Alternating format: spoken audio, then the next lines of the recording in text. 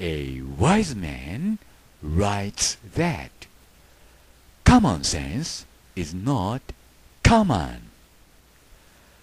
When I say you see a panoramic view of Mars in the painting of young Mona Lisa, a photographic map of the Arctic Ocean in a Japanese bronze mirror, or Venus de Milo has a male genital organ, you may say it is ridiculous because it is your own common sense. Then how about this when I say Madonna or Virgin Mother is Lamia, the worst witch in the painting painted by Leonardo da Vinci? You may also say it is ridiculous because it is your own common sense. However, common sense so often blinds us. Hiroshi Hayashi, Hamamatsu, Japan.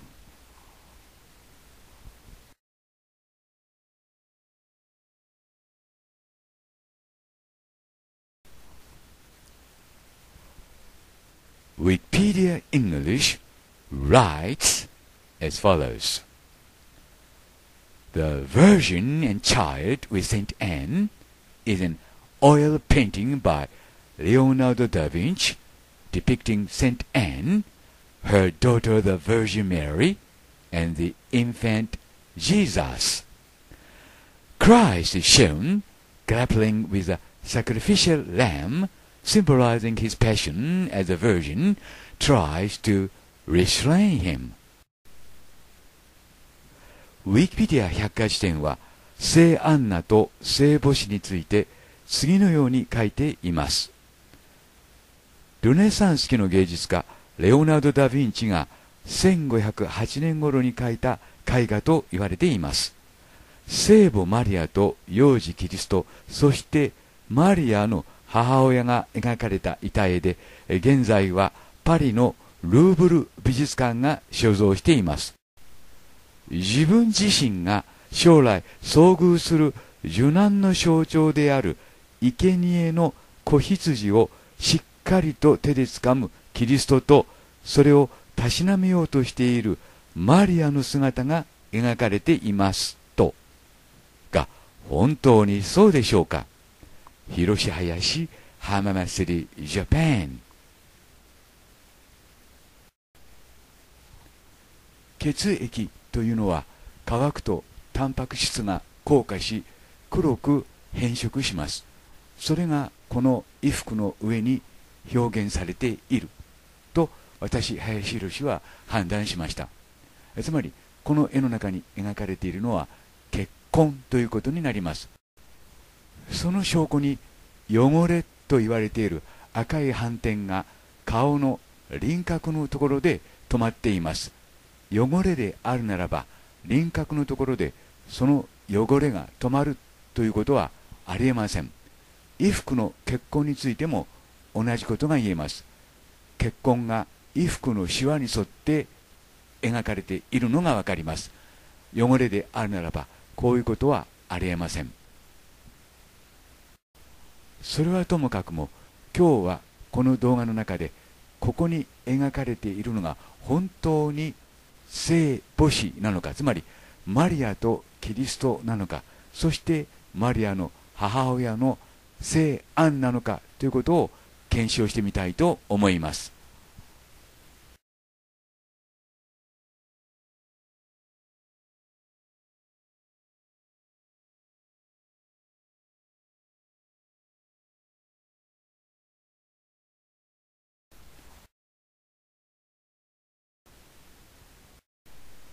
えでは本題に入ります。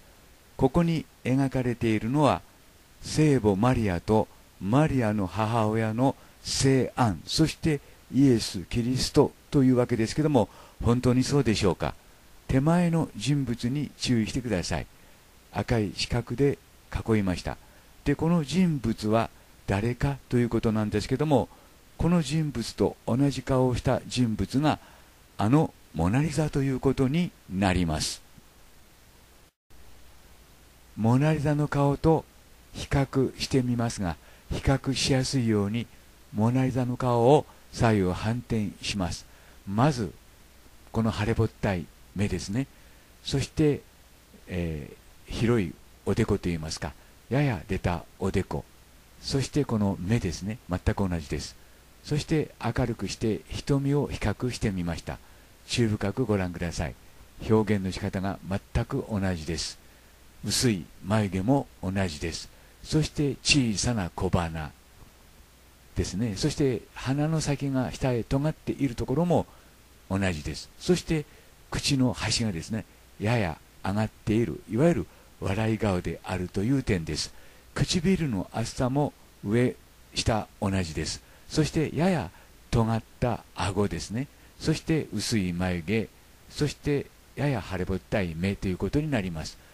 で髪の毛の様子も同じです。ただ左の、まあ、人物の方は髪の毛が乱れています。中央で2つに分かれている点も同じです。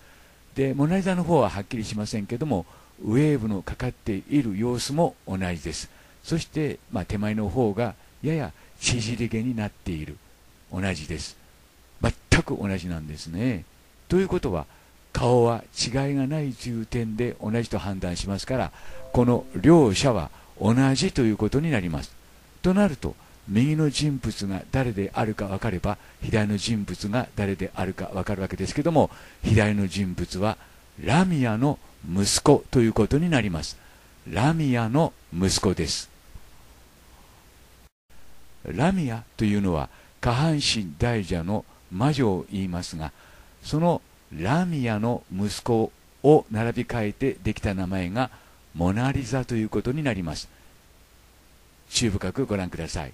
ラビアさん。ラミアの息子を並び替えたのがモナリザという名前です。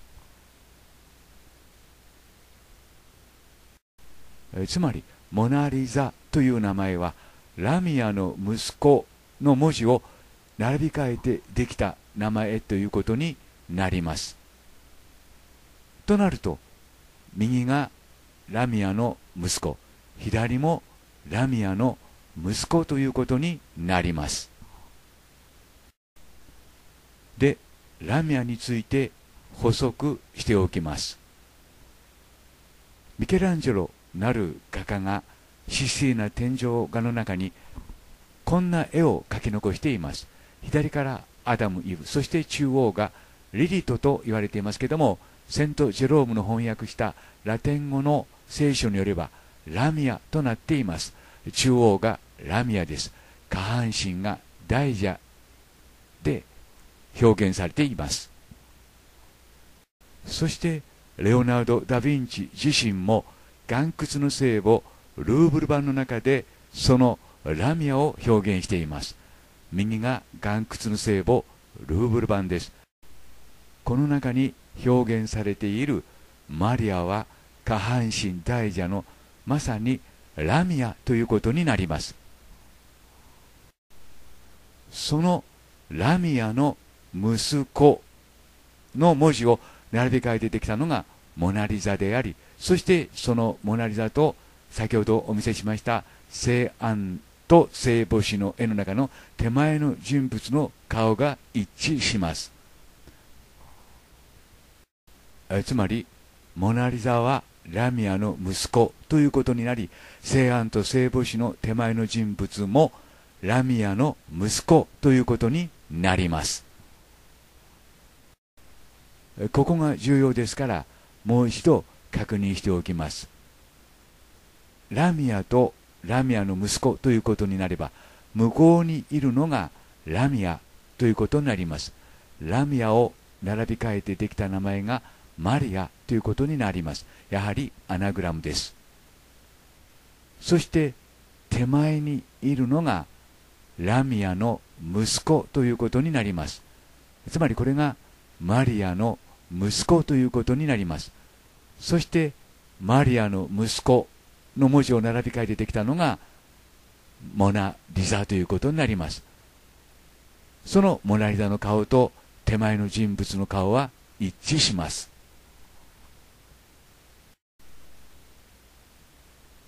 となると向かって右側に描かれている子供は本当にイエス・キリストかということになります。でその絵を検証してみますがまずその手前の人物の右手に注意してください。この子供の腹の皮膚の下に手が潜り潜り込んでいるのが分かります、え注深くご覧ください。今白枠で囲った部分です。右手がこの子供の腹巻きのように見える皮膚の下に手が潜り込んでいるのが分かります。ですね。つまりこの子供は少なくとも人間ではないということになります。そして向かって右側その子供の今度は左手に注意してください。私林宏はこの子供は担当を握っていると判断しました。先が少し見えていますが羊の耳の色とは違います。上下比較してみてください。下は白いですけども上は白くありません。そして手の元を見てみるとここに担当と耳の両方が描かれているようにも見えます。はっきりしませんけども耳だけでもないし担当だけでもないように見えます。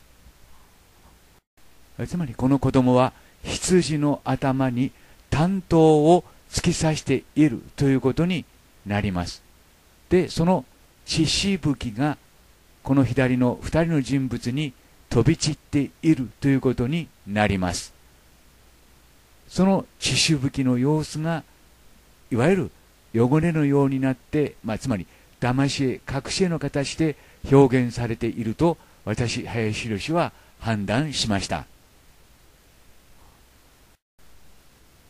繰り返しになりますが汚れであるならば顔の輪郭や衣服の端で止まるはずがありません。もう少し詳しく検証してみます。血です。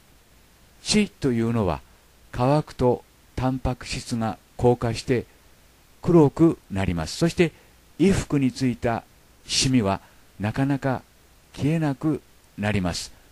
消えにくくなります、まあ、だんだん黒ずんでくるということですね。それが聖アンナと聖母子の絵の中に表現されているということです。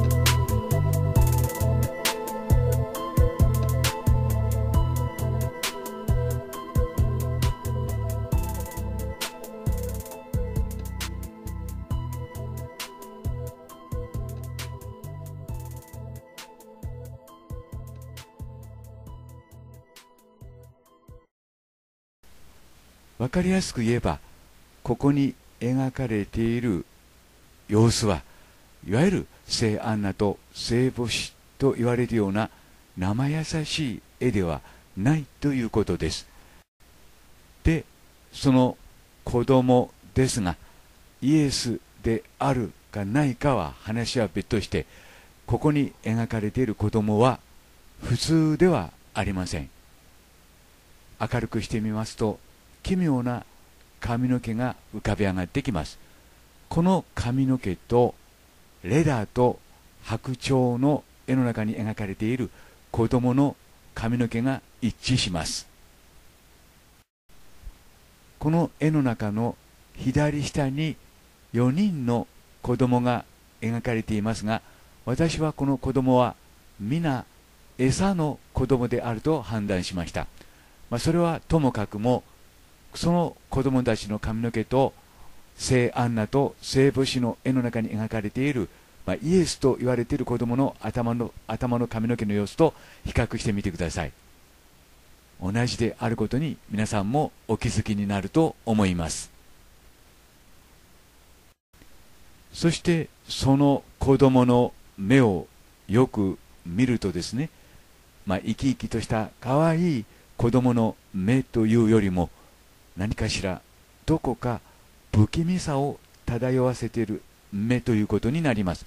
つまり虐待を受けた子供の目ということになるのではないでしょうか。注意深くご覧ください。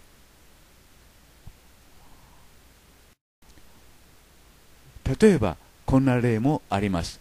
これはアンドレア・デル・ベロッキオとレオナルド・ダ・ヴィンチの合作とされているイエスの洗礼の絵ですけどもその中に描かれている子供たちはですね。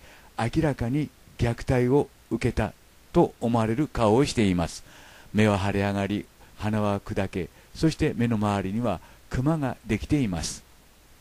ですからまあこの聖アンナと聖母子の絵の中の子供も虐待を受けていると考えても何らおかしくはないということになります。もう一度ウィキペディア百科事典の方に書いてある文を読み直してみます。この聖案と聖母子の絵はですね、え、イエス・キリスト自身が将来遭遇するであろう受難の象徴である生贄の子羊をしっかりと手でつかむキリストとそれをたしなめようとしているマリアの姿が描かれています。とあります。本当にそうでしょうか？ということになりますが後の判断は皆さんにお任せします。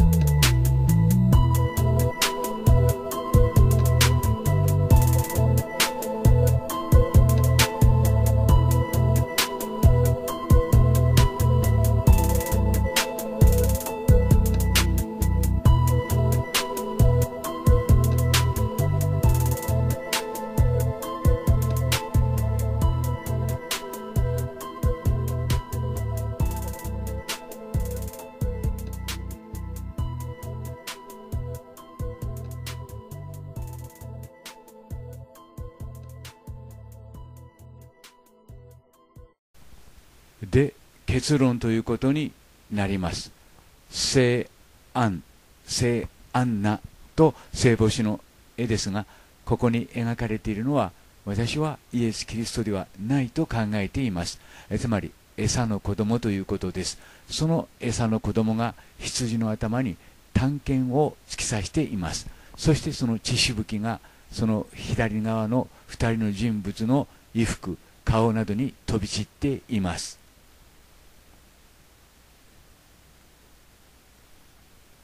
そしてこの絵の中には25という数字が隠し込まれていました。あえて今のところ私の解釈するところによれば25というのはメッカすなわち聖聖地ということになりますがそれについては今の段階ではペンディングとさせてください。となると2人の人物は誰かということになりますが左の人物はいわゆるラミアの息子ということになります。となると、その向こう側にいるのがラミア、すなわちマリアということになります。ラミアは下半身大蛇の魔女中の魔女、そして人間の子供を食べる魔女でした。そのことをレオナルド・ダ・ヴィンチ自身がですね、岩窟の聖母の中に表現しました。以上のことをですねまとめるとこうなります。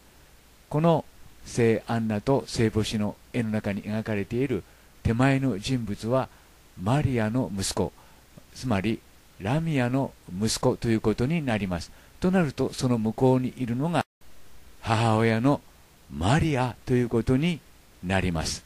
一般説とは全く違った解釈ということになります。後の判断は皆さんにお任せします。そしてその子供は探検であるいは担当で羊の頭に担当を突き刺しています。その血しぶきが2人の人物の衣服や顔に飛び散っています。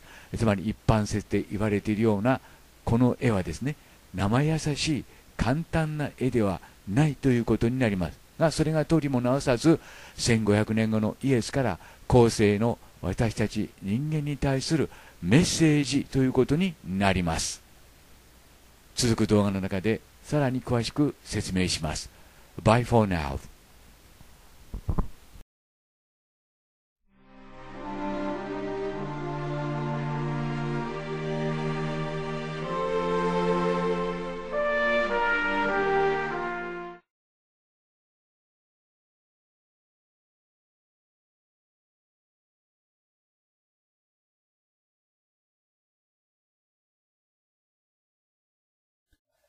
The Louvre Museum, Paris, France, has deleted Jesus Christ's message to human beings under the name of stupid restoration, together with blood stains painted in the painting Saint Anne and Holy Families.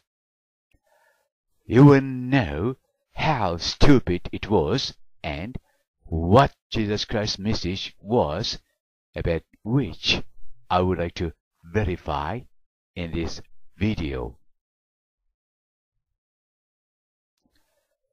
ルーブル美術館は愚かな修復作業の中であろうことかイエス・キリストの人間に対するメッセージをそこに描かれていた結婚とともに消し去ってしまいました。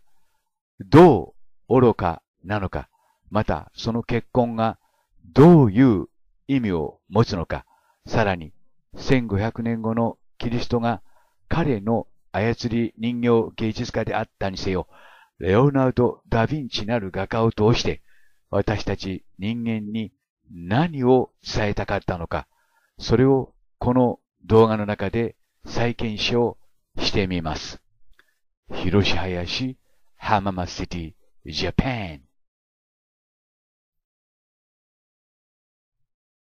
後でもう少し詳しく解説しますが、今皆さんにご覧いただいているのが、聖安と聖母子の絵の中に描かれている結婚です。血の跡です。レオナルド・ダ・ヴィンチなる画家を通して、1500年後のイエスはこのような絵を残しました。これは絵の汚れではありません。衣服にもその血痕が残っています。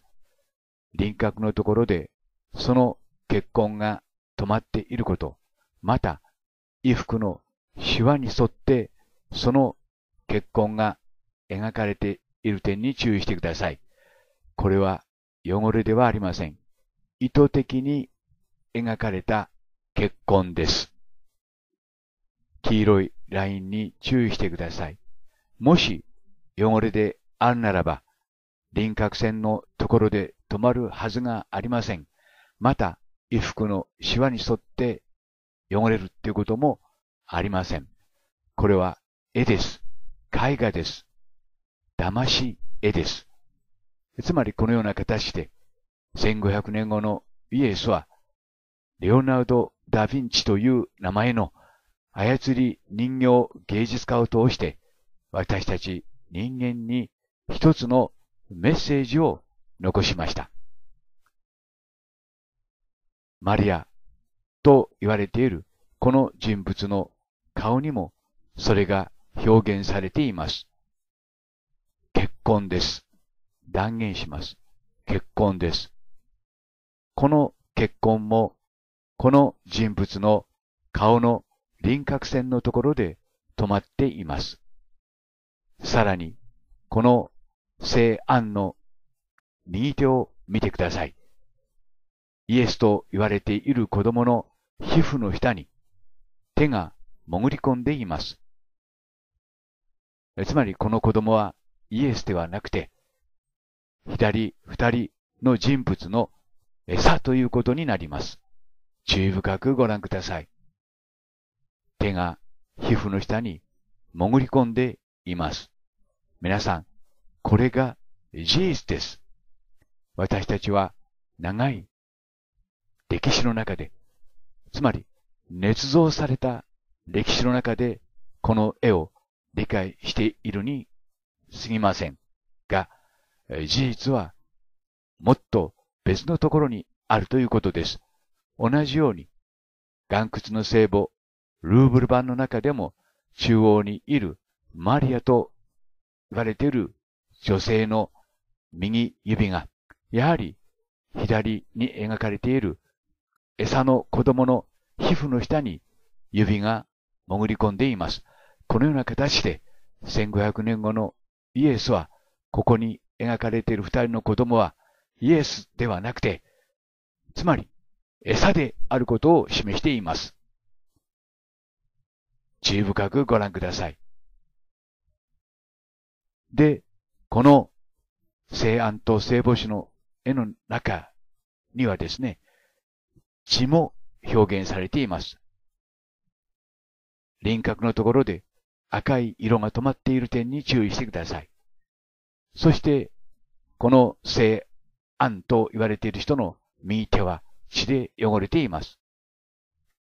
さらに決定的な証拠が、この中央に上から下に流れる血の跡です。汚れであるならば、衣服のところでその血が止まるはずがありません。いいですか皆さん。これは絵ですよ。実際の衣服ではないんですよ。どうして汚れが絵の中の衣服の上で止まっているのですかいわゆる騙し絵ということですね。皆さんはこれを見て何も不思議に思わない。おかしいとも思わない。しかしこれは絵なんですよ。絵の中の衣服の上で汚れが止まるはずがないじゃないですか。もし上から流れ落ちたインクのような汚れであんならば、絵の中の衣服のラインでその汚れが止まるはずがないのです。そして汚れは皆顔の輪郭のところで止まっています。つまり、これらの汚れイコール結婚は、レオナルド・ダ・ヴィンチなる画家を通して、1500年後のイエスが意図的に書いた汚れということになります。ではなぜ結婚なのか。それはこの子供の向かって右側左手を見ればわかります。手に握っているのは担当、すなわち小刀、すなわちナイフなのです。注意深くご覧ください。これは羊の耳ではありません。このような形で、この子供は担当、刀、ナイフを握っているのです。その証拠に、耳の色が違います。先を見てください。右上の先を見てください。これは羊の耳ではありません。もう一方の羊の耳と比較してみれば、それがわかります。羊の耳は白く描かれています。そして指の間から見える、その担当は茶色です。そして付け根のところも見てください。茶色ですね。もし、これが羊の耳であるならば、この部分も白いはずです。つまりこれは羊の耳ではないということです。だが、すなわち、担当だということです。この子供は担当を手に、手に握り、そしてそれを羊の頭に突き刺しているのです。皆さん、これが事実なんですよ。皆さんが知っている歴史は捏造された歴史にしか好きないということです。つまりこのような形で、イエスは、1500年後のイエスは私たちに強烈かつ鮮烈な歴史を残したということになります。続く動画をどうかご覧になってください。なお、あろうことか、これらの結婚は2000年に入ってからルーブル美術館によって跡形もなく綺麗に修復の名のもと消し去られています。Bye for now.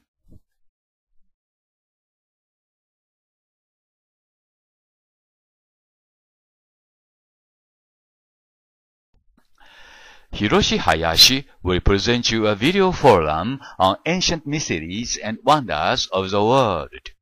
Today's story is too horrible and unless it is okay, you are advised not to watch this video since it might cause you ill feeling. And I say here that common sense is unreliable at all. Common sense, which is a collection of prejudices, with lies plastered upon lies, taking a long, long time. Why not do you doubt your common sense here in this video with me? Here is one example. 嘘に嘘を塗り固められたのが常識ということになります。あなたもその常識を一度疑ってみませんか今日もダヴィンチの描いた絵をテーマにそれを考えてみます。これが岩窟の聖母ですね。ルーブル版です。え今日は右の天使の腕に注目して考えてみます。この腕を注意深くご覧ください。この手を注意深くご覧ください。何か反転のようなものが描かれてますね。絵の具の汚れなのでしょうか？それとも反転なのでしょうか？ここの部分ですね。この部分を拡大してみます。注意深くご覧ください。反転のようなものが描かれているのがわかります。が皆さんは多分これをですね、絵の具の汚れというふうに解釈なさると思います。がそう思うのはちょっと待ってください。実はダヴィンチは同じ反転を別の絵の中で表現しています。これはアンと、まあ、聖アンとマドンナですね。この聖アンの、えー、皮膚を見てください。この皮膚を見てください。同じように反転が描かれています。絵の具の汚れのようにも見えますが、輪郭線のところでその反転が止まっています。つまり、意図的に書かれた反転だということになります。この反転は何かということですね。皮膚病ということになるのでしょうかそれとも何か別のものなのでしょうか注意深く比較してみてください。が、その同じようなものがですね、実はこの案の衣服の上にも書かれています。つまり、ブラッド、血ということになるわけですね。で、その観点をさらに精査しています。これは汚れなのか？注意深くご覧ください。それとも反転なのか？そこで衣服を見てみますと、同じように衣服の上にも反転が表現されているのがわかります。そしてその反転は輪郭のところで止まっています。ということは、意図的に書かれた反転、反転であるということになりますね。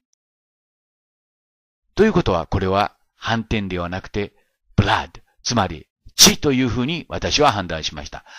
まあ、詳しくは続くビデオの中で解説しますが、となると、左のこの天使の腕に書かれている、手に書かれているのも血ということになります。なぜダヴィンチはこんなところに血を表現したのかということになりますね。謎が謎を呼びます。少し回り道をしますが、その謎を解く鍵がミケランジェロなる画家が描いたとされるカッシナの戦いの絵の中にありました。皆さんご存知のカッシナの戦いです。この中に、えー、1500年後のキリストは重要なメッセージを書き残しています。これがカシナの戦いですけども、この絵の中には一文字の形で、つまり隠し文字の形で775027という数字が表現されています。注意深くご覧ください。左から775027という意味です。この775027が何を意味するかですけども、え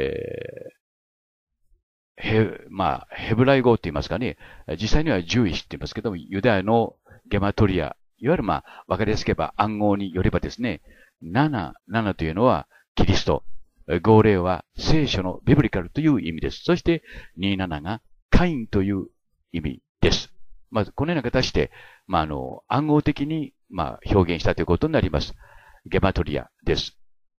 で、ゲマトリアについて簡単に説明しておきたいと思います。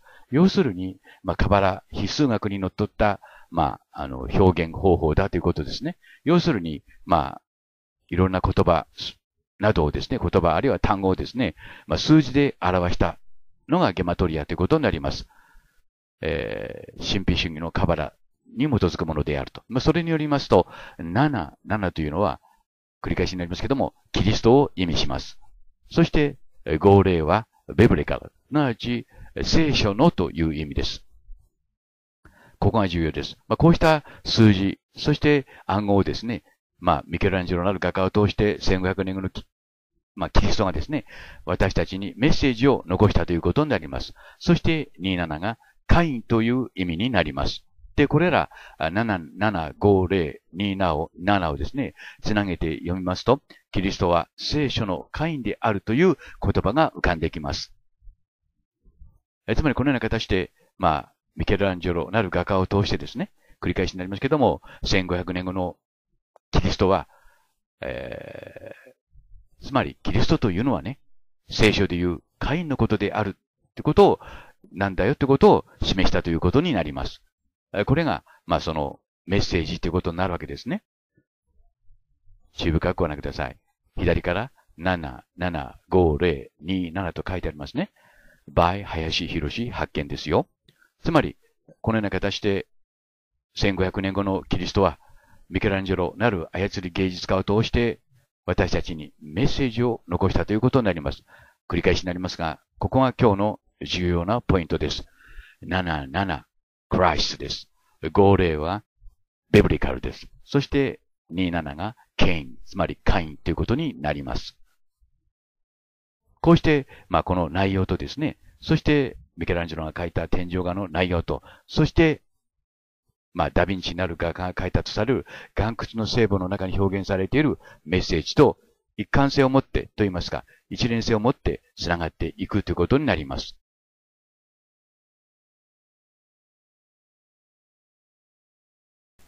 えでは、カインとは何なのか。カイン創世記には次のようにあります。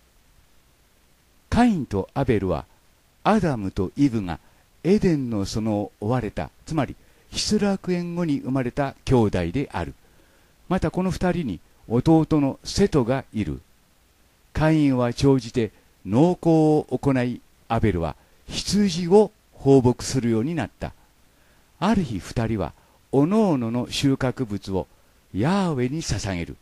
カインは農耕で得た収穫物を、またアベルは超えた羊の発語。ここが重要です。羊の発語を捧げたが、神ヤーウェはアベルの供物に目を留め、カインの供物は無視した。ここが重要です。ヤーウェはアベルの供物に目を留め、カインの供物は無視した。そのため嫉妬に狂ったカインはアベルを殺した。繰り返します。嫉妬に狂ったカインはアベルを殺します。以上の、つまりカイン創世記の話を、このレオナルド・ダ・ヴィンチなる画家が描いたとされる聖安と聖母子の絵に当てはめて考えてみると、担当を突き指しているのがカイン、そして羊はアベルを表しているということになります。つまり、イエス・キリストイコールカインであるということをこの絵は示しているということになります。そしてその内容はあのミケランジェロなる画家が描いたとされるカッシナの戦いの中に仕込まれた暗号と一致します。繰り返しになりますが1500年後のイエス・キリストはルネサンスの時代に現れてキリストというのは聖書でいうカインのことであるということを私たち人間に示したということになりますでここが重要ですがこうした絵を描いたダ・ヴィンチにしてもミケランジェロにしても意味もわからずこうした絵を描いたかあるいは発表したということになりますでは聖安と聖母子の絵に仕込まれた謎についての動画をどうかご覧ください。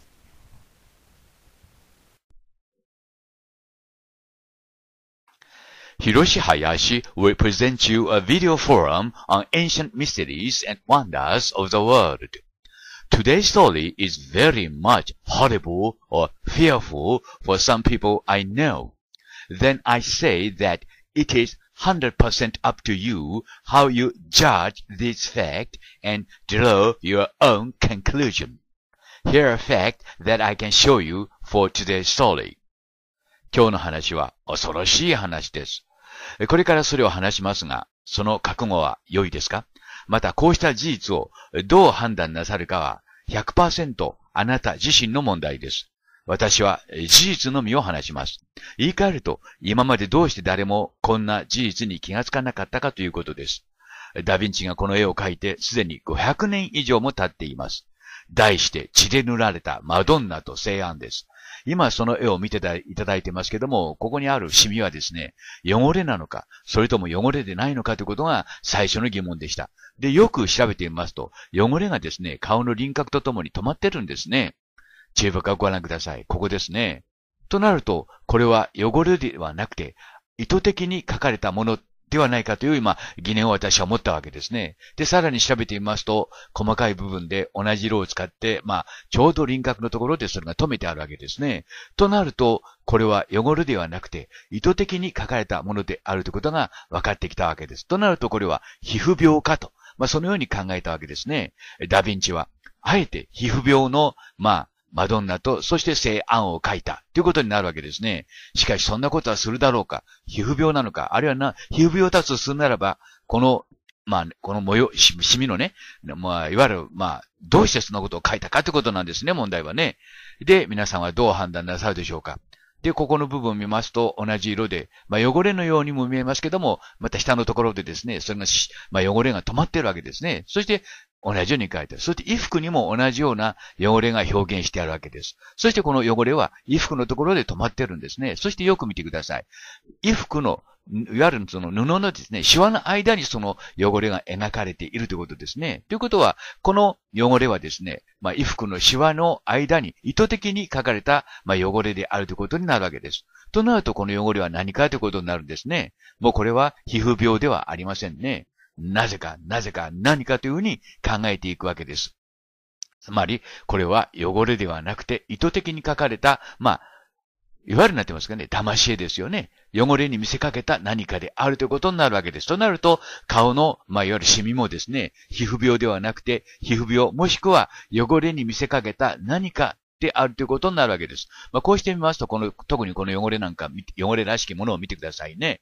周辺に明らかに色を塗った跡がありますね。ということは、これ全体がですね、意図的に書かれたものである。そしてその汚れはですね、その、まあ、皮膚のところで止まっていると。もし汚れであるならば、上の方まで行くはずですからね。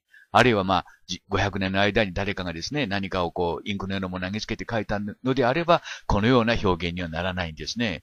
となると何かということなんです。いわゆる汚れではない。汚れに見せかけた何かであるということですね。いわゆる隠し絵、騙し絵になるわけです。まあ、この辺を見ますと、あたかも汚れのように見えるわけです。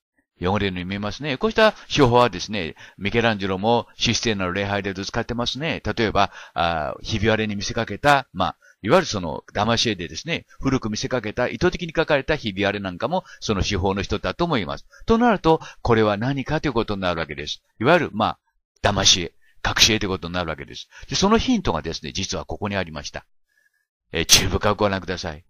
この手、ここを見てください。この手のところが特に大きく汚れてますね。これは汚れではありませんね。と同時に、周りにはそれをか、まあ、隠すかのように汚れのようなものが表現しているわけです。で、この、この大きな汚れはですね、いわゆる体の線の輪郭線で止まってますね。ということは、明らかに意図的にこの汚れは書かれたものである。特に大きな汚れが、この聖案の右手の、まあ、手の上にだらーっとこう書いてあるということですね。となると、これは何か何かですけど、もう一つヒントがありました。この縦線を見てください。これが汚れであるならば、絵の上に書かれた、いいですか？衣服の上で止まるはずがないんです。本物はそうかもしれませんけどもね。しかし、絵の中で別に書かれた、まあ、例えば汚れが上から垂れてきたとしますね。どうして衣服、絵の中に書かれた衣服の上で止まるんですか？ありえないでしょ？あの、現実と絵の世界と区別してくださいよ。そして、ここに、まあ、止まってると。となると、この赤い線も意図的に書かれたものであることがわかるわけです。もしもこれがですね、誰かが、あまあ、インクかなんか何かかけて、つけた、まあ、汚れであるならば、下まで行くはずですから。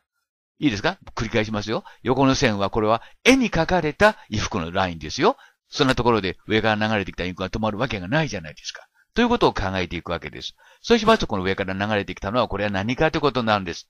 そうです。こういう風に流れてここで止まるのは血なんですね。このダヴィンチが意図的に書いた血なんです。ということになってくるわけです。となると、この聖案のほっぺたに書かれている、まあ、描かれていることはシミ、そしてこの、なんて言いますか、汚れのように見せかけた何かは何かということですけども、血であるというふうに考えられるわけです。そして色も合いますね。ただ、衣服の方はですね、また別の表現がしてありますけども、何のために、どうしてこんなところに、まあ、汚れ、血に見せ、汚れに見せかけた血、まあ、皮膚病ではないですね。というのは、マリ、マリアも、それからマドンナもですね、それからセアンも同じようにそれが表現してあります。そして衣服の上にも表現してありますから、皮膚病ということはあり得ません。実はそのヒントは、このイエスの左手にありました。注意深くご覧ください。で、このイエスの左手を見てください。一見、この羊の耳を掴んでいるかのように見えますね。一見、羊の耳を掴んでいるかのように見えますね。これが騙し絵、隠し絵なんです。しかしこれは羊の耳ではありません。先を見てください。羊の耳は白いです。ところが、このイエスが持っているこのものはですね、このまあちょ、ちょうどですね、手に握っているものは羊ではなくて、色がですね、羊の耳の色とは違います。騙し絵なんですね。実は、ここにイエスさんを持っているのは耳ではなくて、耳ではなくて、何だと思いますか？ナイフなんです。イエスは左手にナイフを持ってそれを羊の頭に突き刺しています。イエスはナイフを持っています。もう一度比べていますから、比べて、あ皆さん自身で確認してください。耳は白いです。下を見てください。もしも耳であるならば、これだけ出てるんですから、いえ、ダヴィンチはですね、レオナルドは白い耳を描いたはずです。わかりますか？白い耳。しかし、これは耳ではありませんね。ということは、イエスは左手で羊の頭にナイフを突き刺している。という、まあ、極めて残酷な絵なんですね。まあ、その証拠にこのイエスの顔を見てください。後でまた出てきますけども、目がおかしいです。黒目です。そして、この目は、まあ、俗に言います。死んでいますね。子供のにこやかで優しい顔ではないと、私は判断しました。という、まあ、恐ろしい話です。そしてその血がですね、まあ、象徴的に飛び散っている。そしてそれを隠すために、病気のよう、あるいは汚れのように見せかけているということですね。もう一度この絵をしっかりとご覧ください。一見汚れのように見えます。皮膚病のようにも見えます。そしてその汚れはですね、顔の輪郭のところで止まっています。一部分ね、そのだらーっと流れたように見せかけて、汚れのように見せかけているところもあります。それが混在しているわけですよね。ですから、皆さんは騙されました。そしてこの、えー、まあ、事実に500年以上も誰も気がつかなかったということですね。汚れだ汚れだと思い込んでいたわけです。で、結論になりますが、皆さん注意深くご覧ください。ここですね。えー、汚れが顔の、あの、いわゆるその顎の下で止まってますね。ということは、これは汚れではない。後からまあ誰かがね、例えばインクを投げつけて描いたような絵でもないということです。そしてその下の方の輪郭はスーッと横へ流れてますね、線が。ということは同じ色で同じように描かれてますから、これは汚れではありません。と同時に、マリアにも、それから、西安の顔にも、そして衣服にもついてますから、これは皮膚病でもありません。となると、これは血ということになるわけですね。色も合います。なぜこの絵の中に血が飛び散ってるか。その理由は続くビデオを見ていただくとわかります。この絵の中には恐ろしい物語が隠されています。というのは今日のビデオでした。続くビデオをどうか参考にしてください。Bye for now.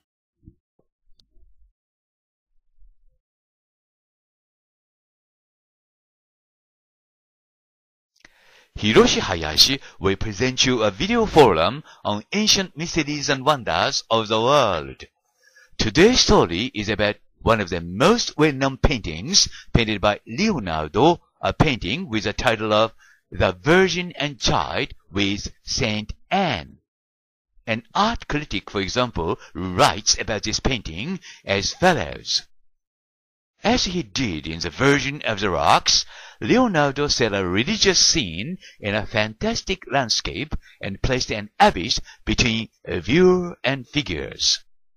The mountainous distance is conveyed by atmospheric perspective with bluish and crystalline highlights and reflect his interest in geology and meteorological phenomena and etc. etc. I, Hiroshi Hayashi, have got a quite different idea and wonder if what he writes here is true or not, or all or not. Leonardo painted so-called Bloody Mary in the painting of the Virgin and Child with Saint Anne. You also know the reason why he did it in this video following. 皆さんご存知のダメチの描いた聖アンナと聖母子の絵です。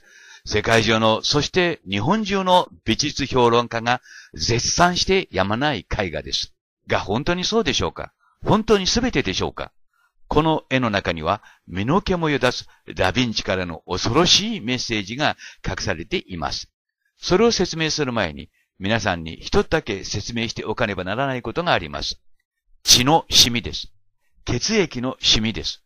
血というのは出血した直後は赤いですが、衣服についた血を放置しておくと黒く色が変色します。で、その後、血液の中のタンパク質が硬化して洗濯をしても色が落ちなくなります。淡い黒い色が残ります。これを血液のシミと言います。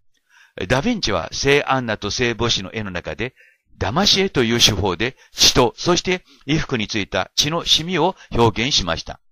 そうであるかないかは皆さんご自身で判断していただきますが、なぜダヴィンチはこんな絵を描いたのか、こんなシミを描き残したのか、その理由もこの動画の中で説明します。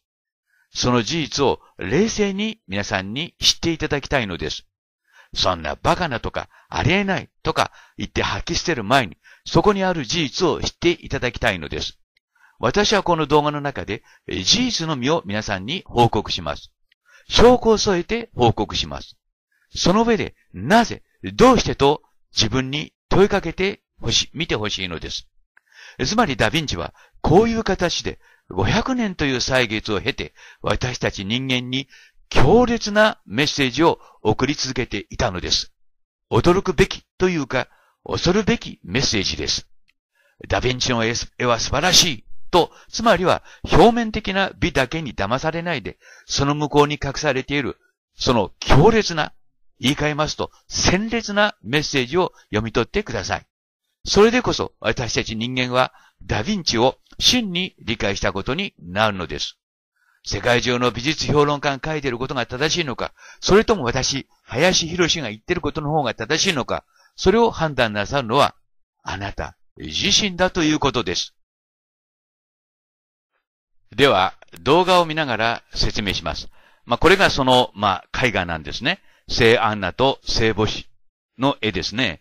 で、この絵の中にですね、この、まあ、こちらの方が、まあ、聖アンということになるわけですけども、この顔にまあ、出ているこのシミですね。これは汚れなのか、いわゆるまあ絵画のね、そのものの汚れなのか、それともダヴィンチが意図的に描いた汚れなのかということなんですよね。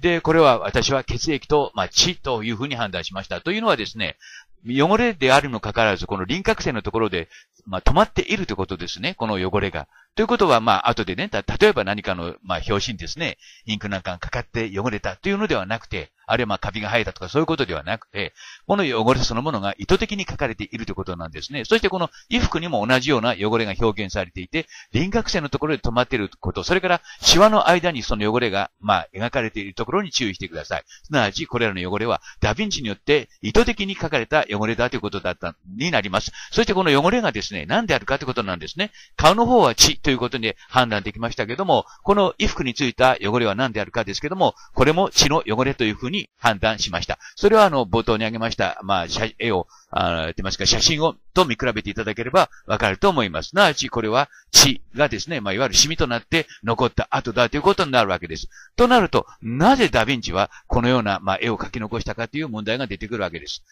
まあ、性まあ、いわゆるね、あまあ、聖アンナと聖母子という、まあ、タイトルがつくような絵の中で、なぜダヴィンチは聖アンナの顔にですね、いっぱいまあ、血を描き、そして衣服には血のシミを描いたかということなんですよね。まあ、今もう一度ご覧いただいてますけど、一番右が、えー、衣服に残った血のシミということになります。で、これと同じシミがですね、聖アンの衣服の中にも描かれているということですね。色も全く同じなんですね。そしてその漢字も風合いもですね、全く同じように、まあ、書かれているということなんです。まあ、ダヴィンチはこのように正確に書いたというよりも、やはりこうこういったところでも写真技術を使っていたということになります。まあ、ともかくもなぜこんな絵を描いたかというその理由はですね、このビデオの中で説明いたします。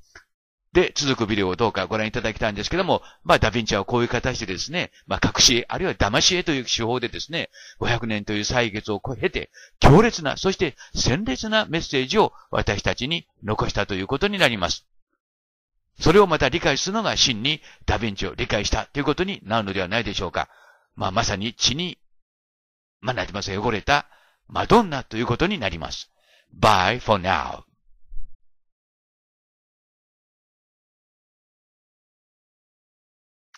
Hiroshi Hayashi will present you a video forum on ancient mysteries and wonders of the world. Today's story is about a horrible painting of Madonna and Saint Anne who eat a child, a painting painted by Leonardo. I just show you here in this video only fact, believe it or not. Only fact. Then I say that it is up to you how you judge this fact and draw your own conclusion. Here are facts that I can show you for today's story. 子供を食べるマドンナと聖アン。今日の動画は恐ろしい動画です。大変ショッキングな動画です。題して Bloody Saint Anne with Madonna。血にまみれた聖アン。あるいは、マドンナ、Who Eat Infant, painted by Leonardo。幼女を食べるマドンナ by ダヴィンチです。私はこの動画の中で、事実のみを皆さんにお伝えします。信ずるか信じないかという問題ではありません。こうした事実を受け入れるかどうかという問題です。その上で、どう判断なさるかは、あなた方の問題ということです。私ではありません。あなた方の問題ということです。マドンナとセアンは子供を食べていました。で、その動画はこの動画の後につなげておきますが、さらに奇怪な事実が私のところに届きました。フランス・パリ在住のセリ木村さんがルーブル美術館へ行き、その写真を届けてくださいました。またまたその写真を見て私は驚きました。これからその写真を紹介しますが、決して解像度が低いわけではありません。2448×3264 ピクセル。つまり、超超高解像度の写真です。その写真は私が今まで検証してきた絵とは違います。どう違うかはこれから説明しますが、唯一考えられることは、ダヴィンチは2枚の絵を描き残したということです。あるいは現在、ルーブル美術館に飾ってあるダヴィンチの絵は、そのコピーか偽物かということになります。が、こんなことはあり得るでしょうかセリキムラさんが届けてくださった絵の中の聖アンとマドンナは美しすぎます。肌には結婚の、結婚の跡がありません。これはどういうことでしょうか？つまり私はコピー、あるいは別の絵でも良いのですが、何かしらその裏に意図的な隠蔽工作のようなものを感じます。こんな絵ではまずいぞということで、展示用には別の絵を飾っているとです。私がこの続く動画の中でお見せするダヴィンチの絵は、あまりにも空恐ろしいものです。皆さんが今まで持っていた常識を180度ひっくり返すものです。あるいは今までの皆さんの思い込みを粉々に粉砕するものでです。だからルーブルでも展示用には別の絵、つまりコピーを展示している。あるいはダヴィンチ自身が同じ絵を2枚描いたとも考えられます。が、私は今までそうした話を聞いたことがありません。ともあり、まず、セリ木村さんから送っていただきました絵を、絵とですね、私が持っている資料と比較してみます。もちろん、私の資料の方がその2倍ほど精細なものです。なお、この中でお見せする事実は、すべて林博士が発見したことです。では、恐ろしい話です。覚悟はよろしいですか？では、画面を見ながら説明します。これが私が、まあ、現在持っている資料です。極めて解像度の高い、まあ、写真ですね。で、おととい、セリー木村さんがですね、ルーブル美術館へ行って、この写真を撮って送ってくださいました。えー、2448×3264 ですから、同じようにまあ解像度は高いんですけども、この絵を見て驚きましたね。西安もマドンナも美しい肌を持っています。そこに注意してください。で、この西安の肌にはですね、結婚の跡が全くないんですね。まあ、少し、あの、かすかに色が残ってるかなっていう感じはします。どうしてでしょうか？ということなんですね。で、比較してみます。これが現在、ルーブル博、まあ、美術館にある絵の写真です。と、右が私が手持ちに持っている、まあ、絵の写真ですね。で、比べてみてください。で、右の方は後で証明しますけども、これは結婚の後です。血の後なんですね。ところが、左のセリ木村さんが送ってくださった現在のルーブル美術館にある絵の写真にはそれがないんですね。そして、色の風合いも違う感じがしますね。色温度が違うって言いますかね。そういうところなんですよ。で、まあこれはあのカメラの特性によるものかなという部分もありますので何とも言えませんけども、この部分ですね。後でもう一回照合しますけども、影の出来具合が全く違います。で、これは、まあ、現在のルーブル美術館に飾ってある写真ですね。絵の写真です。で、右が私が持っている手持ちの写真ですけども、まあ、これもその、なんて言いますか、あの、明度差の違いによってこうした違いが出たのかなとも思えなくもないんですけども、それにしても、マドンナの皮膚が綺麗ですね。そして、一つまあこれは確認ということになるわけですけども、このイエスと言われている子供の目を見ていただきたいんですけどもね。